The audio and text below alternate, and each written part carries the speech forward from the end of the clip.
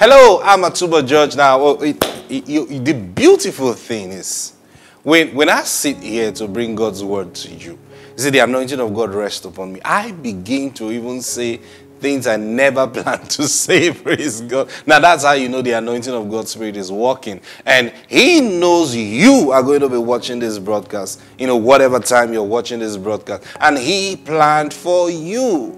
So all I do, I yield myself to Him for Him to give me utterance. Now I prepare my notes, I prepare the things I need to talk about, but but I still wait for Him to give me utterance for each word that I speak because I know one thing He's thinking of you. Praise God. Now, we were talking about how to start the year, and then we were talking about God is your source, recognizing God as your source. I know yesterday I was ministering to someone talking about children and, and how to believe God for their sustenance. Now, listen. Understanding that God is your source is not just a mental thing you do. There is a physical action, there's a physical aspect, there's a demonstration of your works where that is concerned. Remember, the Bible says faith without works is dead. Now, I know lots of people have misunderstood or, or, or taught wrongly concerning works and faith. You know, say, oh, um, I don't have a job. So, what are you doing in the house? The Bible says faith without works is dead. If you're believing God for a job, go around and looking for where they are employing people just in case. You must you must that that that's not the meaning of faith without works is dead. That's that's that's faith and foolishness. Yeah. So what what's the works of faith?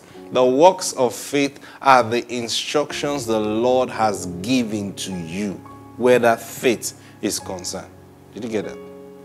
What do i mean? Now you're believing god for something and then while you're believing God for it, instructions must come from the Lord. See, if those instructions don't come, then how do you know that God is even aware you're believing for what you're believing Him for? You see, to walk with the Lord is a fellowship, is a, a relationship. Now, there is no one way relationship. That relationship will end soonest when we talk about relationship, it's a two-way thing, see? So, so you, you're talking to someone, the person is talking back to you. You're doing something and then there's a response you're getting from the person. You know, how, how would you like it? You pick up your phone and say, hello, yes, Mr. John. You know, I've been trying to reach you since yesterday. You know what? Today, uh, this is what I want you to do. This is what I want you to do. This is what I want you to do. Now, when you're done with that, I would like you to do this and do this and do this. Thank you very much. Bye-bye. And then you hang up. Did you even know if Mr. John was on the other side of the phone? Praise God. So you say, Hey, Mr. John, how are you? He Say, Oh, I'm very fine. Oh, ah, a long time I've not heard your voice. Oh, I'm, I'm, I'm okay. You know, I was even thinking about you. Okay, fine. This is what I want us to do. All right, all right. Now, all that, all right, all right, means what? There is a conversation going on. So when you pray to God, how do you know He has heard you? When you are believing God for something, how do you know that God has knows or is, is even aware that you're believing Him for that? See, how, how are you supposed to know? Very simple. You know by the instructions He begins to give to you. You see, for example, Abraham went before the Lord one time and then the Lord was talking to him and he says, Okay, Lord, hold on. You know, God had already told him, I'll give you the land. Your, your children shall inherit the land. And then he, he went before the Lord one day and he says, Lord, I want to ask you a question. How will I know that I will inherit this land? Now, God didn't say, Abraham, upon everything me, God, have told you. You're still asking this kind of silly question? No, no, no, no. When he asked the Lord, the Lord explained to him. The Lord said, mm, Okay, you know what? Get me a sacrifice. Do this and do this. And then he did, and God spoke and, and, and received that sacrifice. See? And then God began to speak to him concerning the land. So don't be afraid to ask God concerning the things that He has promised you. If your faith seems to be failing, don't do, and let me let not be like my faith is failing. It's failing. You need help. See, you don't you don't do the Superman thing before the Lord. When you need help, you need help. So what do you do? Go to Him for help. Say, Father, I, need your help right now because you know this promise you promised me. I'm looking at the time and, and, and it seems my faith is failing. I need your help. What's He going to do to you? He is going to remind you of His word. He's going to strengthen you. Even Jesus needed help.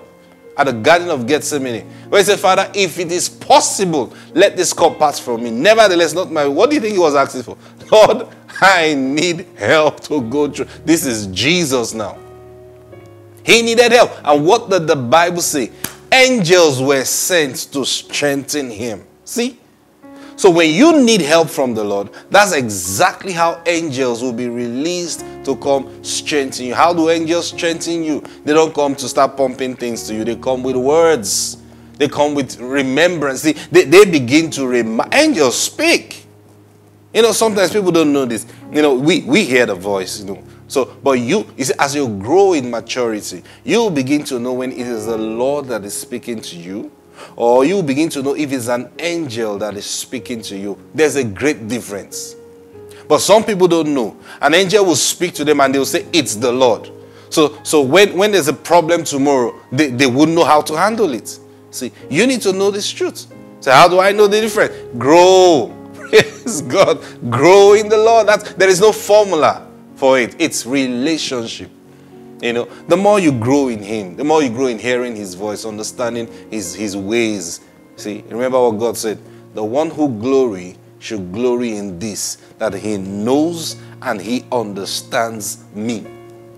And that should be your goal. Praise God.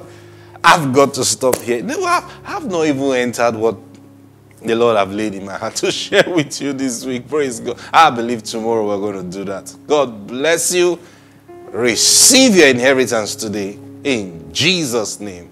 Bye bye.